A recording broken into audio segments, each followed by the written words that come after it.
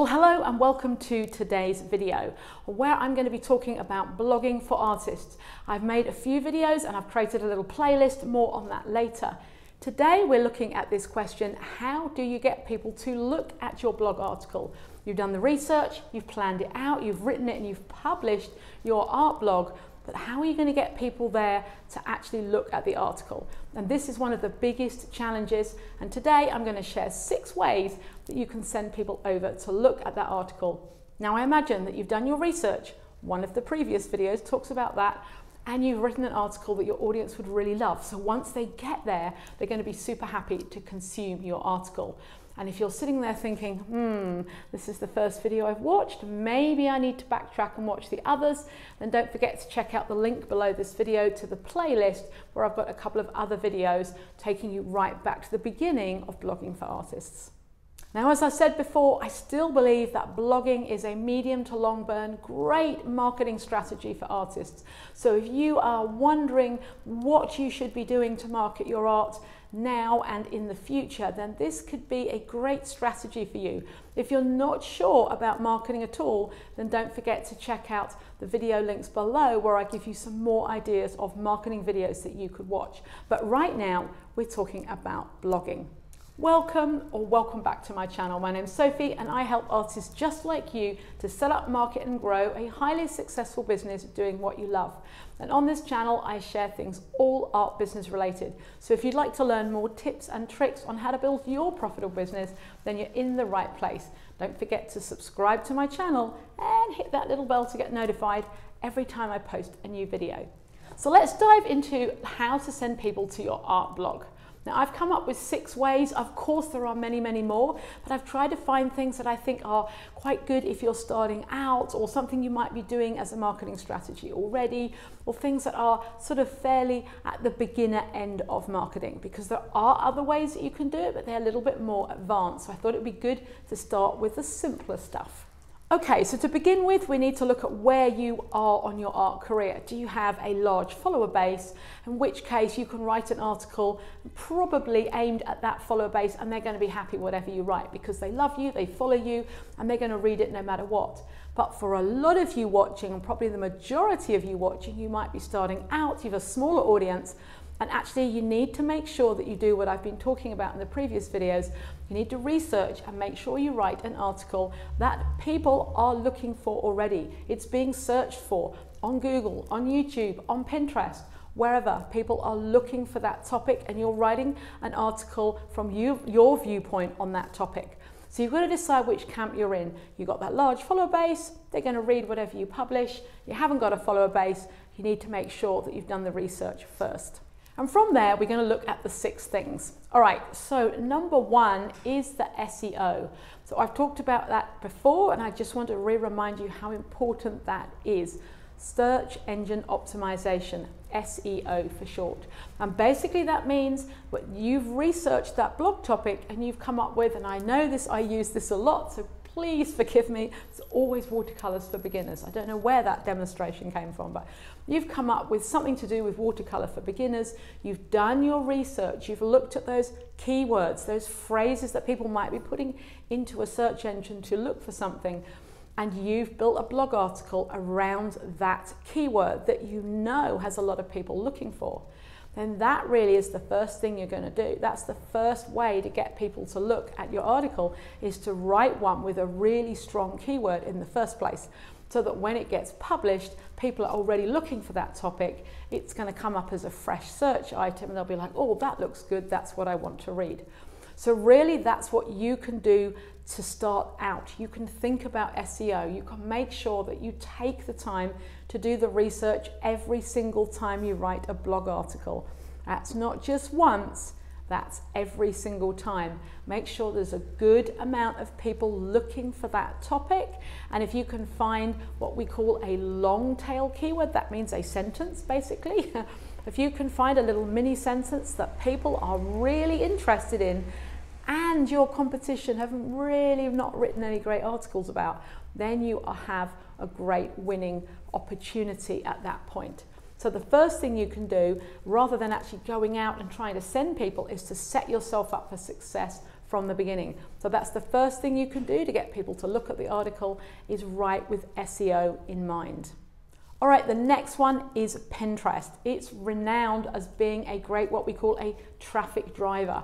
In other words, it sends a lot of eyeballs, a lot of views to online sites. That could be your website, could be your shop, could be whatever you've done. It's a great opportunity. There are 443 million active users per month on Pinterest right now, and it's likely that your audience is on there, right? If you've done a bit of research into your audience, don't forget to check out this video here on how to find your audience. If you've worked out who your audience are and you already realize that they're on Pinterest, then likely you've chosen to be there anyway. So you might be saying, Sophie, I've already done that. And don't forget as well, we've got a link, I'll put a link below to um, another video on Pinterest as well if you want to know a bit more about that. And as we know, Pinterest is a really active search engine. Now, I don't know about you, but if I want to find out a recipe, for example, or how to do something, then I go to Pinterest first. If I don't want to watch um, a YouTube video, a sort of longer form video, then I will go to Pinterest. Now, these days, there's just as many videos come up um, as a result on Pinterest as pins, but I will be quite often looking for something and I will search in Pinterest and I'll put in what I'm looking for and then look and sift through the results. Now, if you create a series of pins around your blog article and people again are searching for that topic, they're searching now over on Pinterest, they click on one of your pins and arrive on your blog article. You see how that works? And what's really nice is you could create between five and 10 different pins for that one article and post them to different boards, so long as the boards are relevant, um, and get people looking at your blog article. You can also put those pins on group boards where perhaps people are really interested. So if you knew, for example, you did, you've written an article about watercolors for beginners and you know that there's a group board for people interested in watercolor painting, you might want to put one of your primary pins on that group board for other people to see and over they go and read your article. Top tip, make sure that you create colourful, attractive and standout pins for your blog article. You want to make sure there's a bit of writing on there so it's really clear what people are going to be clicking on when they look at your pin. So the next one obviously is YouTube. You're on it, right? It's a search engine. Again, people are looking for information, but this time they want the results in video format. So there's a couple of things that you could do here. You could create a short teaser video where you just introduce the topic and then you can say you want to read my whole blog article, then go over here and read that. We have to bear in mind though that people who watch videos very often like to watch videos. So you might also just make a longer version. You might put a very similar video that's similar to the written form so that people have that choice. And you can embed that video over on your blog. So if people go over, look at the blog, they can say, oh, I can read it through while I'm having my cup of tea or coffee, or actually there's a longer video. I'd rather watch the longer video. It can be the same content, but just two different ways that people can consume it, all right? So there's a few things you can do there. You can also make shorts on YouTube, which again, a little teaser, think Netflix, get people over to your blog article. All right, the next one is for those of you who have a marketing budget already, ads.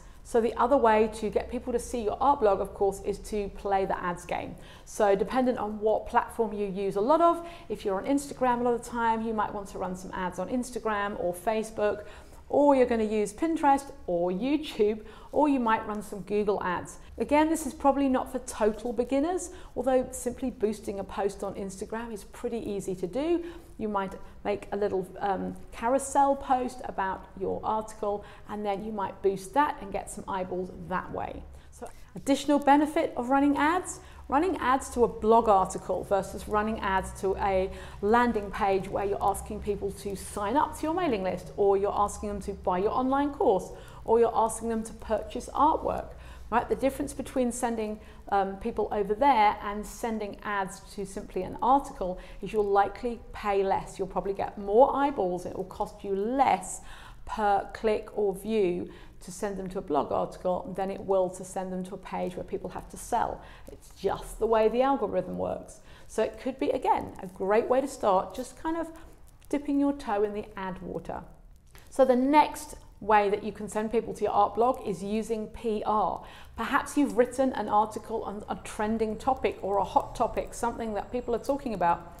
Then why not see if you can get some press coverage? See if you can reach out and get a press release, get an article in a magazine or in the local paper, and then signpost them back to your website where that blog article sits. And that way you could get a whole load of new people looking that you didn't even reach, perhaps via your social media platforms. So it's really good to mix up the strategies. Don't just rely on, oh, I'll put it on Instagram and see what happens. You know, if you really want to get a lot of people looking at the blog, you're going to need to change it up and do some different things. And PR is a great strategy to do that. So the final way to get people to look at your art blog is guest blogging. Now this is a great way again to get in front of a brand new audience. You can offer to write another article that perhaps complements or leads onto the one that you've written, and you write it for a third party blog. You write it for a blog who has the same audience as you do, but obviously offers something a little bit different. They might have ideally a larger audience to you. They perhaps also have a great mailing list. They send out to their mailing list, hey, we've got a guest, guest article. Um, we've got a guest blog written by this particular artist. Go over here to read it. Now, this can be um, a reciprocal thing. You can ask them to do the same for you. They write an article for you. You send that out to your audience, adds value. And a little bit harder work. You've got to find somebody that's the right fit. You've got to ask if you can write an article for them. But I promise you, it's a really great way to get in front of a whole new audience. So whilst the first ones might seem a little bit easier, great place to start, and the last two probably more powerful in the long run, but just take a little bit more time to set up. I hope you've loved these tips and tricks, and I hope you've enjoyed my little mini um, sort of series of articles around blogging. Let me know in the comments below which one of these strategies you're going to focus on first to send people over to your art blog. And like I've said before, do, feel free if you've written an article and you'd like me to have a look at it, post it in the post a link in the comments below, and I would love to read your article. So what should you watch next? If you haven't completed the little playlist, I'd suggest doing that. If you have, perhaps you'd like to watch some marketing videos to find out other ways that you can market your art. So all the links are below this video. Thank you so much for watching and I'll see you on the next one.